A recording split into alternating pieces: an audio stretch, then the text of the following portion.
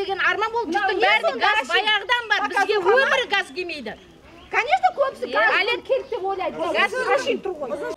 Терешкова көшесіндегі нөмір 18 үй тұрғындары үшін жаңғырту жұмысының қуанышы ұзаққа созылмады. Өйткені жөндеуі олар үшін бас ауыртар проблемаға айналғандай. 2014 жыл жүргізілген газ құбырынан көгілдір отынның әне міне беріледі дегенне төртінші жылға кетіп барады. Қақпаған есігі қалмай тағаты таусылған халықтың ендігі бар үміті тек қала әкімінде.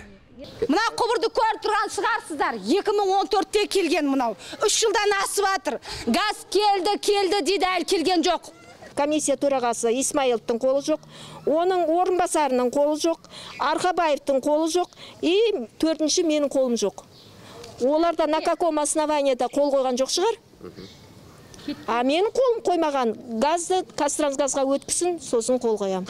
Көпбалалы үйде 150-ден астам отбасы тұрады. Осыншама шаңырақ үшін орталық асханаларда үш төрт газ баллонынан тұр. Айтып келмейтін апаттан қалдыбаева қалдықыз жаны шүберекке түйіп отырады. Орны толмас қайғы қас қағым сәтте алуы мүмкін дейді көпбалалы ана.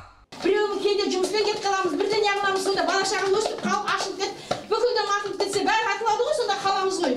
Газдан обещать еткеніне қанша жыл болды әлі газ жоқ. Жаңғырту бағдарламасының орындалуын үйлестіруші шымкент тұрғын үй мекемесі. Мамандардың айтуынша құны 15 миллион теңгелік жобаның жұмысын энергострой сервис мекемесі атқарған. Құбырдың сапалы жүргізілуін анықтап тіпті қысымдау жұмыстары да жүргізіліп қойыпты. Дегенмен көгілдір отынның берілмеуіне бірнеше себеп бар екен.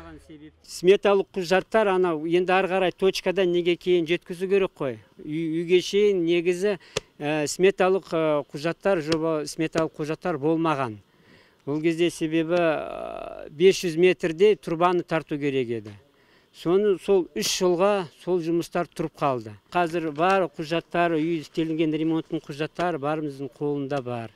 Негізі ол қазір заказчик деген ол кондоминиум төрайымы шынтасов өз құжаттарын алып қазтрансгазға әр пәтердің құжаттарын алып қазтрансгазға барып тапсыру керек. Мәселенің түйініне нүкте қоюды талап еткен тұрғындар қала әкімінің қабылдауына да кіре алмады.